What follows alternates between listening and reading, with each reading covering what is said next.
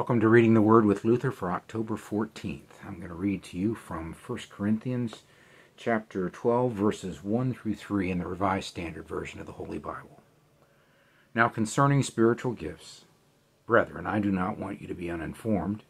You know that when you were heathen, you were led astray to dumb idols, however you may have been moved. Therefore, I want you to understand that no one speaking by the Spirit of God ever says, Jesus be cursed and no one can say Jesus is Lord except by the Holy Spirit.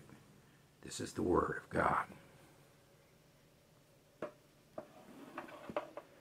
Luther wrote about that last verse.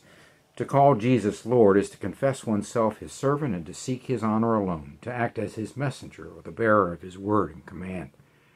Paul refers here chiefly to the office which represents Christ and bears his word. Where the office answers these conditions and points to Christ as the Lord, it is truly the message of the Holy Spirit, even though the occupant of the office does not in his own person possess the Spirit.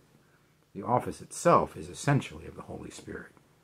Hypocrisy and invention have no place here. One must proceed in sincerity if he would be certain he is Christ's minister or apostle and really handles his word. Only the inspiration of the Holy Spirit can give one this assurance. All Christians, each in his own sphere, may equally call Christ Lord. One may be assured he serves Christ if he can call him Lord, for only by the Holy Spirit is he enabled to do that. Let him try for a single day from morning until evening whether or no he can truly say at all times that he is the servant of God and of Christ in what he does. When delivering a sermon or listening to one, when baptizing a child or bringing one to baptism, when pursuing your daily duties. Ask yourself if the act is attended by such faith that you can, without misgiving and not hypocritically nor mechanically, boast, if necessary, die by your boast, that you serve and please Christ therein. This is calling Christ Lord.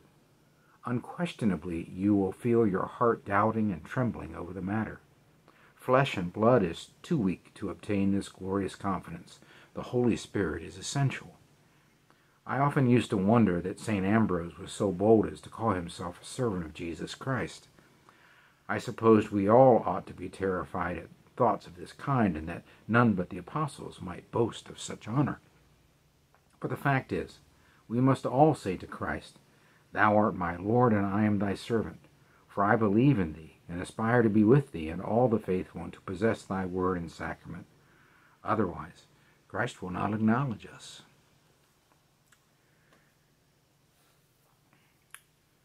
So it takes the Holy Spirit moving it within a person to bring them to faith. Uh, it requires God's grace uh, for anyone to believe. It's not something that you can grow up with and truly believe. It takes the Holy Spirit growing up in you as well, or growing you up from within.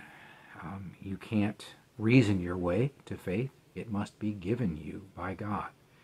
No one can say that Jesus is Lord. In other words, no one can truly believe it without the Holy Spirit being involved in that act.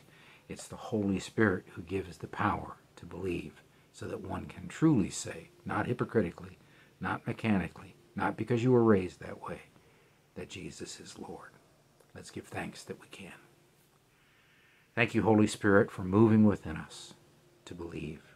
Thank you for extending such grace to sinners such as we, that we can believe that Jesus truly is Lord. We give you thanks in his name, in the name of Jesus Christ. Amen. Thank you for being with me today for reading the Word with Luther. I hope you'll be back with me again tomorrow.